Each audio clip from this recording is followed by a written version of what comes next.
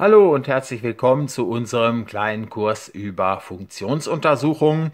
Wir hatten es ja im letzten Video bereits mit dem notwendigen Kriterium für Extrempunkte zu tun. Das lautete folgendermaßen, sei f von a b nach r eine Funktion, die an der Stelle x0 Element a b, also in diesem Intervall hier, in diesem offenen Intervall ein lokales Extremum besitzt, f sei an der Stelle x0 differenzierbar, dann gilt für die Ableitung f' von x0 ist gleich 0.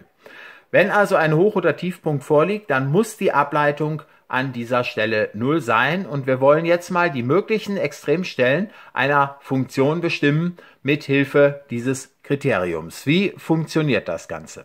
Wir haben uns das Beispiel mal überlegt, f von x ist gleich ein Drittel x hoch 3 minus 5 halbe x Quadrat plus 6x.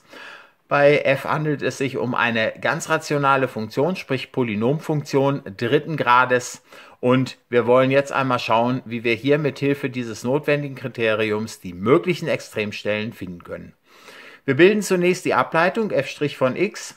f' von x ist also nach den entsprechenden Ableitungsregeln, wir haben ja Summenregel, Differenzregel und Potenzregel, 3 mal ein Drittel x Quadrat, also x Quadrat, minus 2 mal 5 halbe x, also minus 5x, plus 6.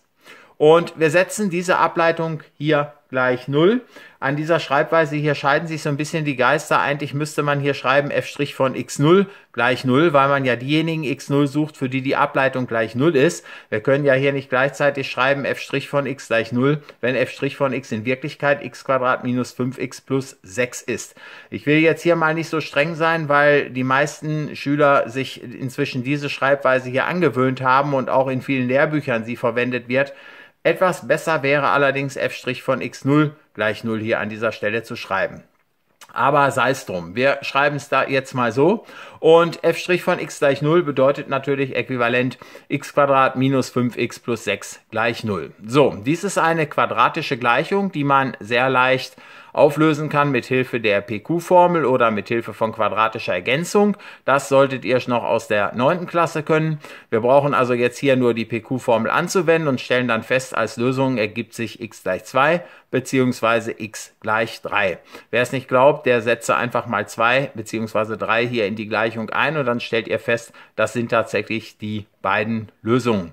Die noch etwas fortgeschritteneren aus der neunten Klasse von euch können auch den Wurzelsatz von Vieta zur Überprüfung nehmen. 2 mal 3 ist ja 6 und 2 plus 3 ist 5, also das Negative hier von dem P. P ist ja hier gleich minus 5 und Q gleich 6 ist dann das Produkt eben dieser beiden.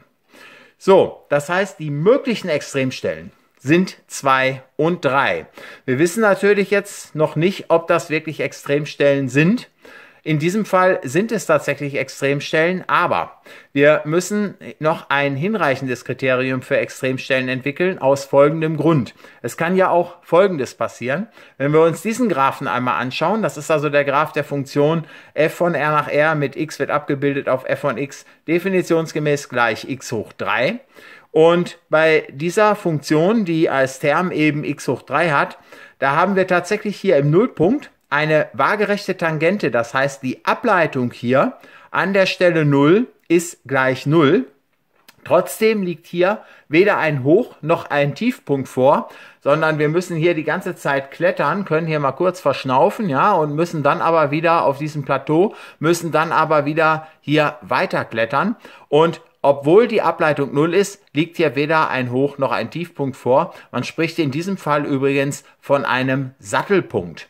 Und um sicherzugehen, dass ein Punkt mit waagerechter Tangente tatsächlich ein Extrempunkt des Graphen einer Funktion ist, benötigt man sogenannte hinreichende Kriterien. Und wir wollen in den nächsten Videos ohne Beweis einmal zwei hinreichende Kriterien für Extrempunkte äh, anwenden auf Beispiele, um zu zeigen, dass man tatsächlich damit ganz sicher sagen kann, ob Hoch- oder Tiefpunkte vorliegen. In der Regel kommt man mit diesen hinreichenden Kriterien bei Polynomfunktionen, sprich bei ganz rationalen Funktionen, auch ohne Probleme aus.